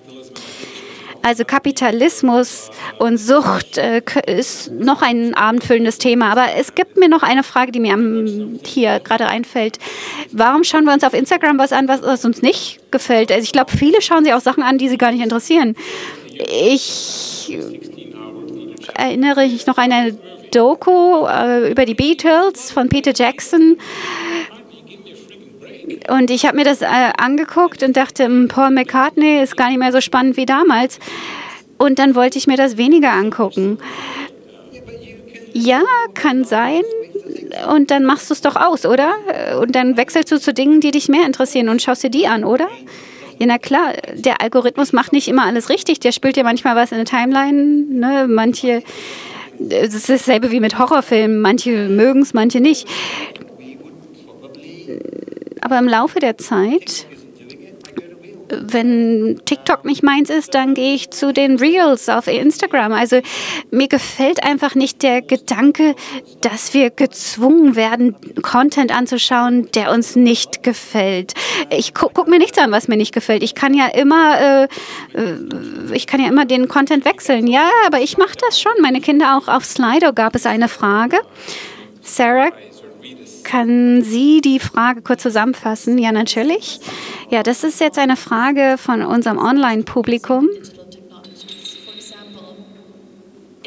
Wenn wir digitale Technologie einsetzen, wird, gehen da nicht gewisse Dinge verloren?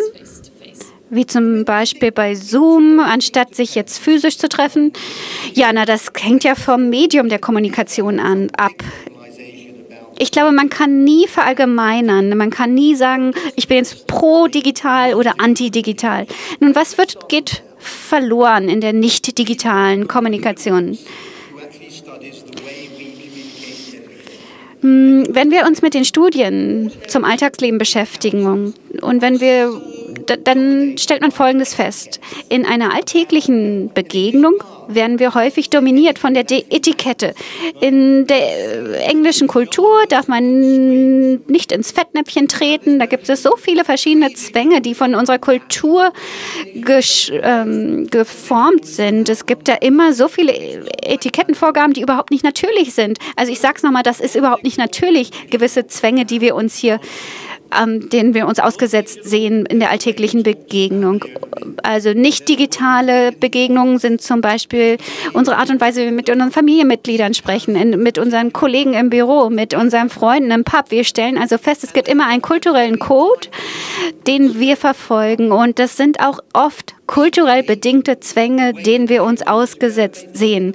Und zum Beispiel ist es so, dass wir uns auf Instagram auch anders verhalten, als wir das auf YouTube tun würden oder auf einer anderen sozialen Plattform. Wir leben in einer Welt, wo es verschiedene Arten der Kommunikation gibt. Und heutzutage stellen wir fest, dass wir manchmal online sind, manchmal offline, manchmal fließen die Konversationen zwischen diesen beiden Medien oder zwischen diesen beiden Arten. Ich glaube nicht, dass es, ich glaube nicht an Verallgemeinerung. Ich glaube nicht, dass man sagen kann, die digitale Welt ist so und die nicht digitale ist so. Die sind beide so komplex, so differenziert und ich habe ja noch nicht mal angefangen, über kulturelle Unterschiede zu sprechen. Gibt es auf Slide noch eine Frage? Ja, ich habe noch eine. Nun, wie wirkt sich die Klasse, die soziale Klasse auf ihre empirischen Ergebnisse aus? Ist das hier eine Bedrohung oder gucken wir uns die Gesellschaft an sich an, auf die Geschlechter, Ethnien, auf die soziale Klasse, dann sehen wir immer eine Analogie und wir stellen fest, wir alle sind ja als Menschen. Ich muss hier nochmal ein negatives Beispiel liefern, um das besser zu verdeutlichen. Ich, und ich bin auch da, ich gebe Ihnen ein Beispiel. Ja, ich komme jetzt zum Schluss und möchte Ihnen ein negatives Beispiel geben. Ich gebe Ihnen ein Beispiel dafür, wo digitale Medien die sozialen Klassen nochmal negativer verstärken. Nicht, dass es jetzt hier eine digitale Kluft gibt, aber ich habe mich zum Beispiel mit dem Googlen nach Gesundheitsinfos beschäftigt. Und da dachte ich, das müsste ja eigentlich zu einer Art Gleichberechtigung führen. Jeder hat den Zugang zu derselben Information und da sollten wir doch die Unterschiede der sozialen Klassen überwinden können. Aber das, das Gegenteil war der Fall. Warum? Diejenigen, die eine gute Erziehung oder eine gute Ausbildung genossen haben, zum Beispiel auf der Uni waren, die schauen dann bei Google nach und die können dann feststellen, welche Art von Gesundheitsinfo nützlich ist, zum Beispiel von welcher Behörde diese Info stammt. Die können also die Quelle bestimmen, können sich diese Info anschauen, analysieren und können sogar die wissenschaftlichen Papiere zu diesem Thema nachlesen und nachrecherchieren. Sie waren also bereits gut gebildet und wurden durch diese Art von Recherche noch gebildeter. Und diejenigen, die diese Art von Ausbildung nicht genossen haben und nach einer gewissen Gesundheitsinfo gesucht haben bei Google, schauen sie sich oft das erste Ergebnis an. Und das erste Ergebnis bei Google ist meistens eine Verkaufsanzeige oder etwas, das bei ihnen Ängste auslöst, weil zum Beispiel da eine große Schlagzeile irgendwie wieder bei den Medien vorhanden war. Letztendlich ist es so, dass diejenigen, die schon vorher einen Vorteil haben, noch ein größeres Vorteil hatten und diejenigen, die sich unsicher waren im Hinsicht auf die Informationen, die sie da bekamen, noch uninformierter waren und noch weniger Infos hatten. Und so zeigt sich, wie die digitalen Medien die sozialen Klassenunterschiede noch einmal verstärken. Und ich hoffe, dass wir uns dem Ganzen auch bewusst sind. Und interessant in diesem Fall war, dass ich damit überhaupt nicht gerechnet hatte. Ich dachte, dass es zu mehr Gleichberechtigung führen würde, aber das tat es gar nicht. Nun, der Schlüssel liegt immer in der Evidenz. Was zeigt uns eine Studie tatsächlich? Okay. Und, ähm, ähm, die, ich denke, das, was wir wirklich brauchen, ist, dass wir darüber hinausgehen und dass wir wirklich langsame Patientenstudien durch, geduldige Studien durchführen, dass wir äh, uns die Evidenz anschauen, dass die Menschen das beurteilen sollen und dass wir auf der Grundlage dann zu Schlussfolgerungen kommen sollen. Und das ist das, was ich hier wirklich darstellen möchte. Ich versuche nochmal. Gibt es noch jemand im Hintergrund, weiter hinten, der noch eine Frage stellen möchte? Ja, äh, wir haben noch niemand von hinten gehört. So, ja, von den hinteren Reihen haben wir noch niemanden gehört. Ja, ich hätte gerne ein klares Signal. Ja, da ist jemand. ja. Ja, vielen Dank. Ich denke, das war sehr schön, diese positiven Rahmen, dieses positive Framing mal zu hören, denn Digitalisierung wird ja oft als etwas sehr Negatives angesehen. Aber ich möchte trotzdem noch etwas Negatives erwähnen, nämlich das sind äh, dunkle Muster, Dark Patterns, wo die Software in einer bestimmten Art programmiert ist, die versucht, äh, dass jemand ein bestimmtes Produkt kauft, also durch und dass man dazu gebracht werden soll, indem man dadurch, dass die Software in bestimmte Art und Weise programmiert ist, durch diese Dark Patterns oder dunklen äh, Mustern. Haben Sie das ähm, auch festgestellt bei Ihren Forschungen? Also natürlich ist es so, dass jedes Unternehmen, das dort auf dem Markt ist, äh, versuchen wird, sie zu überzeugen, ihr Produkt zu kaufen. Und sie werden jede mögliche Technologie nutzen, die es gibt. Wir haben jetzt Jahrhunderte von Werbung hinter uns, psychologische Manipulation jeder Art. Vance Packard hat ja schon in den 50er Jahren davon geschrieben. Äh, sub, äh, subtile Nachrichten, die man auf den ersten Blick nicht verstehen konnte, die aber dazu dienen sollten, jemanden zu überzeugen, etwas zu kaufen. Das ist Kapitalismus. Und ich hoffe, dass ich hier nicht äh, zum Ausdruck gebracht habe, dass das durch das Digitale äh, abgeschwächt wird. Im Gegenteil. Die Wirtschaft wird jede Art von techn digitaler Technologie nutzen, die sie nur greifen kann dafür. Das ist ja plausibel. Und die Wirtschaft wird alles nutzen, was greifbar ist, um die Rentabilität äh, zu erhöhen, um Produkte zu verkaufen.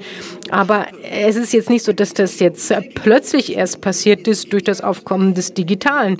Das Digitale ist nur ein Wandel bei den Mitteln, mit denen das gemacht wird. Aber äh, Unternehmen werden jetzt nicht weniger manipulativ und weniger laut sein, äh, als sie es waren äh, vor dem Digitalen. Also es, das ist halt Kapitalismus. Ich habe auch äh, Bücher über Unternehmen und Kapitalismus geschrieben. Es ist ein sehr komplexes äh, Phänomen. Und es gibt sehr viele Unternehmen, die auch Gutes machen wollen. Also die Sachen verkaufen wollen, weil sie denken, dass sie zu ihrem Wohl sind. Wir übergeneralisieren das Ganze, verallgemeinern das oft zu sehr. Und wie ich am Ende meines Vortrags gesagt habe, was immer passiert, äh, wird verstärkt und durch die Nutzung digitaler Technologien. Also zum Beispiel Mobbing auf dem Spielplatz in der Schule auf dem Schulhof. Ich sehe, wie das Digitale ähm, ähm, das Mobben verstärkt, aber auch wie es einschränkt, weil es dadurch sichtbarer wird. Es gibt Dinge, die mehr zu Ware werden und andere Dinge, die weniger zu Waren wären, werden.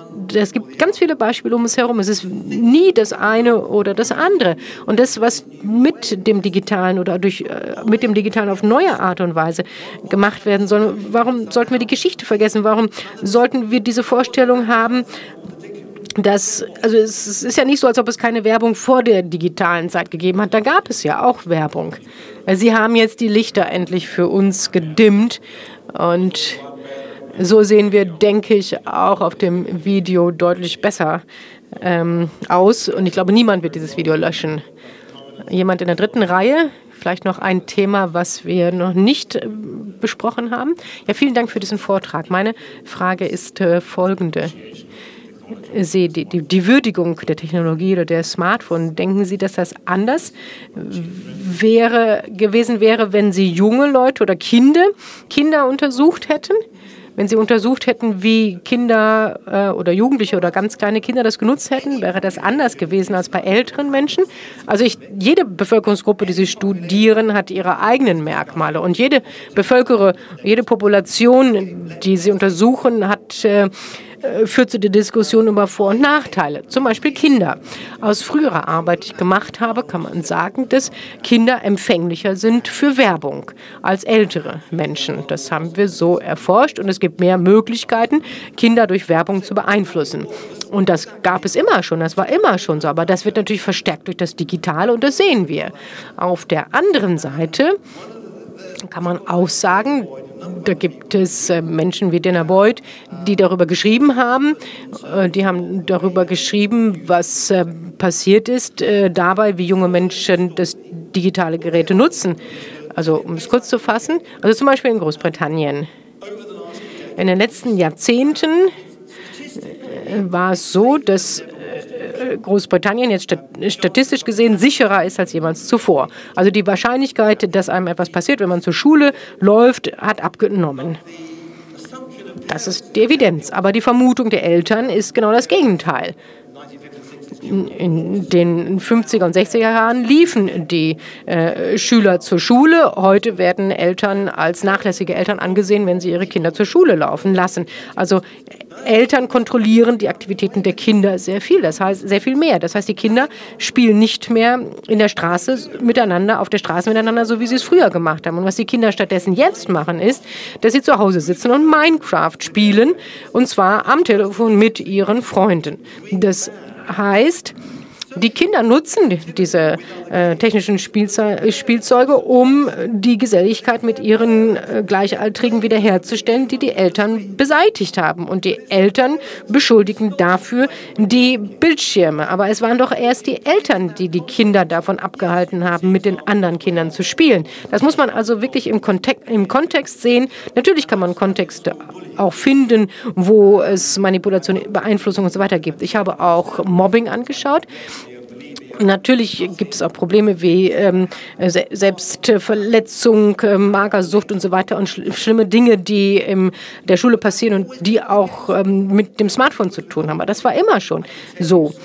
Ich könnte Geschichten erzählen über jüngere und ältere Menschen, problematische Geschichten und auch Geschichten, die zeigen, dass Kinder, die Fähigkeiten haben, ähm, ähm, durch das Fähigkeiten durch das äh, Smartphone haben, die von denen wir eigentlich möchten, dass sie das machen. Also, dass sie mit anderen Kindern spielen, das können sie jetzt über Minecraft machen.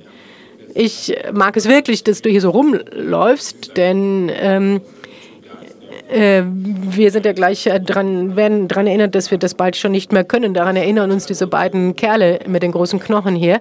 Ähm, es gibt, glaube ich, noch also noch Sie haben ja geredet über die Philosophen der Vergangenheit. Es gibt hier das, das äh, Verhältnis zum eigenen Körper, Essstörungen.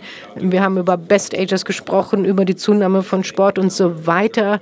Und jetzt noch eine äh, weitere kritische Position, typisch für Deutsche. Also ich bin noch nicht mal Deutsch, aber ich liebe diese Negativität in diesem Land und das hat mich dazu angezogen, dieses Land umzuziehen. Also wenn wir uns das Gesamtbild anschauen, äh, da, was ich rhetorisch sehr schön fand, war dieser Titel oder dieser Satz, wer hat das Smart in das Smartphone gebracht? Das wart ihr oder das war, warst du. Und ähm, 2000 und 2007, da, da, Time Magazine hat ja immer die Person des Jahres und im 2000, ja, 2007 waren es alle, alle, die das Smartphone nutzten und ähm, diese utop, utopische Ideen, Ideen. Da ging es ja immer um die Ermächtigung von Menschen. In den 90er Jahren war es, jeder sollte programmieren lernen. Wir sollten alle mächtige Programmierer werden. Dann gab es MP3, die äh, Verteilung, dass jeder konnte sein eigener Künstler werden und so weiter. Aber nichts davon hat, äh, ist wirklich Wirklichkeit geworden. Dann gab es Krypto und NFT und nichts davon hat wirklich funktioniert und oder sich durchgesetzt. Und ich würde das noch nicht mal als Ideologie bezeichnen. All diese Wünsche, diese utopischen Ideen für die Zukunft haben nur dazu geführt, dass die Ungleichheit zugenommen hat. All diese utopischen Gedanken der letzten 30 Jahre hat zu mehr Ungleichheit geführt und nicht zu mehr Gleichheit.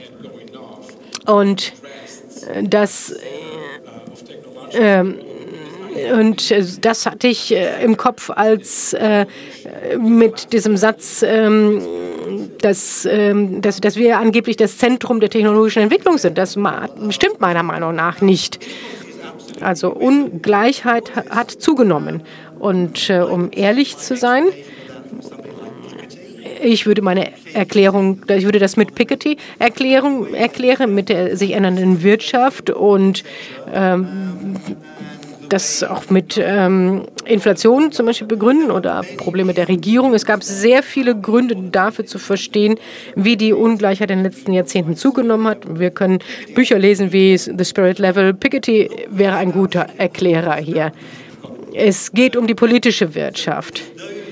Das sind das, daran, dahin muss man sich wenden, um zu verstehen, ähm, wie es zu dieser Ungleichheit kam. Also Wohn Wohnungs Wohnungswesen, ähm, ähm, Inflation und ähnliche Themen.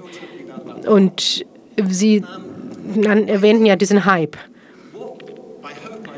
Ich hoffe, dass ich vermitteln konnte heute, dass diese, diese, diese Bilder, diese Vorstellung dessen, was passieren kann, im Positiven wie im Negativen, dass die sich selten verwirklichen, weder auf der einen noch auf der anderen Seite. Also dieses Ende der Menschheit oder diese Vorstellung, dass wir mehr als Menschen sind. Ständig äh, entwickeln wir diese Vorstellung immer wieder, aber wir können nur sagen, das wenigste davon hat sich ähm, bewahrheitet, äh, ob wir dadurch mehr, egal ob wir dadurch mehr Gleichheit oder mehr Ungleichheit geschaffen haben.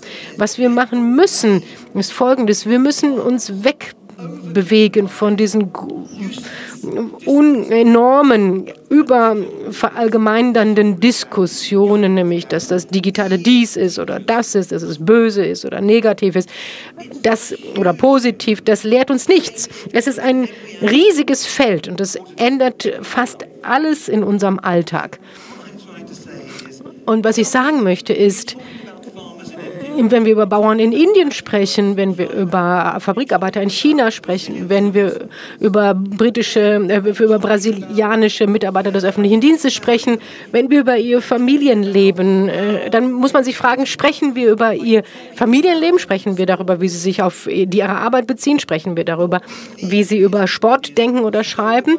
Äh, das muss man untersuchen. Was wir brauchen, ist nüchterne, geduldige Einschätzung all dieser komplexen und kontextualisierten äh, Fälle oder Situationen. Denn das ist die Welt. Ich bin nicht an dem Diskurs oder den Debatten interessiert. Ich bin nicht daran interessiert, was Sie sagen. Ich möchte wissen, wie Sie leben, wie Sie etwas erleben oder erfahren, die Widersprüche, vor denen sie stehen, täglich in jedem kleinen äh, Teil ihres Lebens. Und das möchte ich als Wissen zusammenführen, sodass wir am Ende wirklich Material haben, das wir nutzen können, um äh, diese Themen zu diskutieren.